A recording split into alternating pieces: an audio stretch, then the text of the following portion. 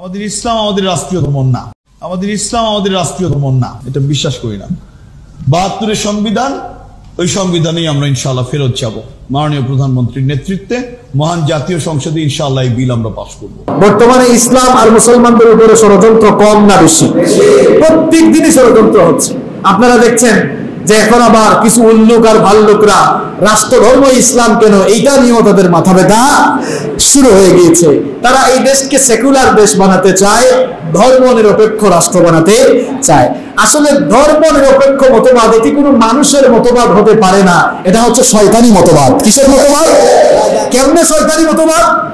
যে যে ধর্মের লোক, প্রত্যেকটা লোকই ধর্মের পক্ষে। ধর্ম নিরপেক্ষ মতবাদ মানে হচ্ছে, আমি কোন ধর্মের পক্ষে না। বলেন তো, যেই ব্যক্তি পাঁচ ওয়াক্ত নামাজ পড়ে কোরআন মানে হাদিস মানে সেই লোকটা কি ইসলাম ধর্মের পক্ষে নাকি বিপক্ষে? যেই লোক বারো মাসে তেরো পূজা করে, দুর্গা পূজা করে, সেই লোক হিন্দু ধর্মের পক্ষে নাকি হিন্দু ধর্মের বিপক্ষে? যেই লোক খ্রিস্টান, ঈসাকে তাদের খোদা মনে করে, যিশু মনে করে গির্জায় যায়, সেই লোক থেকে খ্রিস্টান ধর্মের পক্ষে নাকি বিপক্ষে? তাহলে বোঝা গেল পৃথিবীর কোন ধর্মের মানুষই ধর্মের বিপক্ষে না। প্রত্যেকেই ধর্মের পক্ষে। ধর্ম নিরপেক্ষ মতবাদ এটি সরকারি মতবাদ শয়তান কোন ধর্মের পক্ষে না সে মাঝামাঝিতে আছে। আল্লাহ তালাকে সে এই ধর্ম নিরপেক্ষতার কথাই বলে এসেছিল। সে কি বলেছিল? ফাবিমা ইতালি তোমার সহজ পথে যারাই চলতে চাইবে, আমি কিন্তু মাঝখানে দাঁড়ায় থাকব বাধা দেওয়ার জন্য।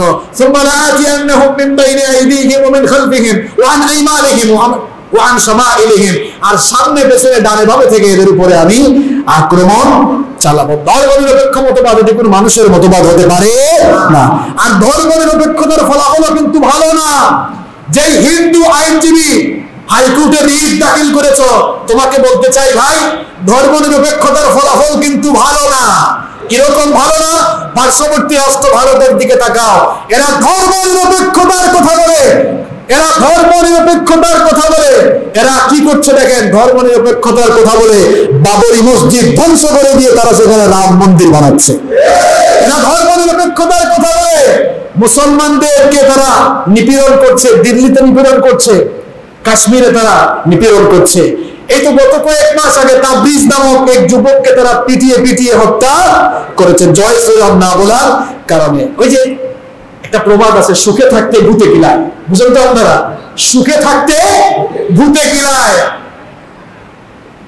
ভারতে মুসলমানরা হচ্ছে সংখ্যালঘু। তারা ঠিক মতো তাদের ধর্ম পালন করতে পারে না। এই দেশে হিন্দুরা সংখ্যালঘু। এই দেশে ইসলাম আর মুসলমানরা থাকার কারণে কিন্তু হিন্দুরা তারা অত্যন্ত নিশ্চিন্ত ভাবে নিরাপদ ভাবে তারা তাদের পূজা পার্বণগুলো সম্পন্ন করতে পারে।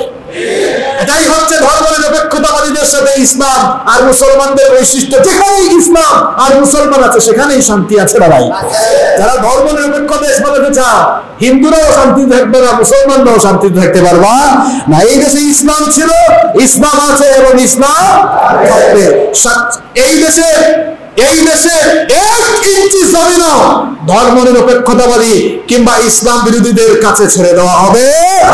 আমাদের শরীরে রক্ত থাকা পর্যন্ত এক বিন্দু রক্ত যতক্ষণ থাকবে, ইসলাম নিয়ে কেউ ছিনিমিরে খেলা সাহস পাবে না, ইনশাআল্লাহ।